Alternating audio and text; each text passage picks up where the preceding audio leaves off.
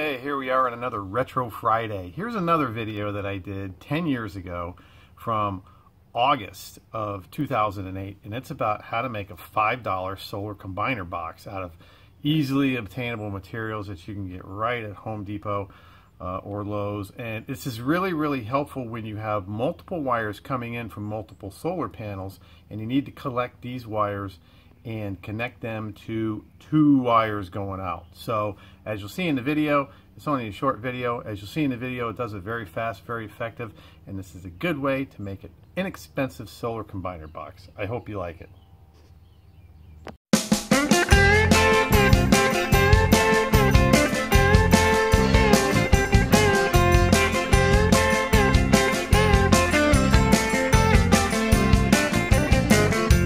Something in the water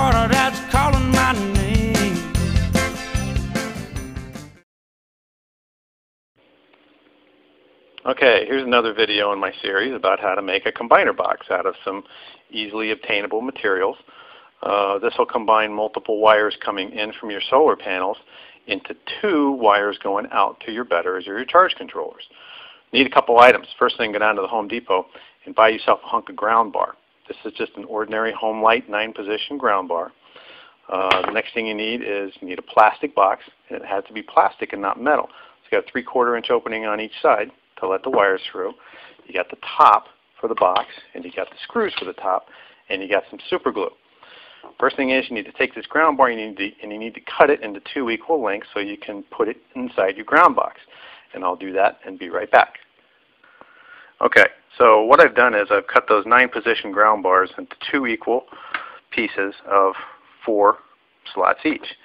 And our basic premise here, all we're going to do is we're going to take these pieces of ground bar and we're going to glue them into the bottom of the box so that they're oriented just like this. That way we can feed the wires in, attach them to the screws, and feed the wires out. Now how I do this is I super glue them into the bottom of the box. And you want to first line up where they're going to go because once super glue hits plastic, it doesn't come off. So I'll do that right now. Now, I spared you the, the process of gluing, but all I've done is I've taken these two pieces of ground bar and I glued them to, uh, on the underside and I glued them to the bottom of the box. And that's going to that's to keep the ground bar firmly attached to the bottom of the box and let you attach your wires.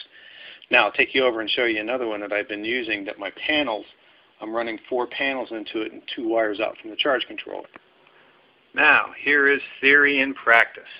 Here's the one that, I've been, that I'm using to run my other uh, uh, things off of. And sorry, I'm, it's the light's a little dim in here, so I'm, I'm using my flashlight. I don't really think I need it. But you can see this combiner box, the red wires come in, and they're hooked into one side The black wires are hooked into the other side. One red wire is hooked to the same side, and the black wire is hooked to the same side, and that wire runs right out to my charge controller. And there you go. There's a there's a six dollar combiner box. Thanks. Okay, that's the quick and easy down and dirty method on how to make a inexpensive solar combiner box. It works very, very well for combining multiple wires coming in from multiple solar panels into two wires coming out. Uh, it only costs five or six bucks. You can get all the stuff right over at Home Depot to do it.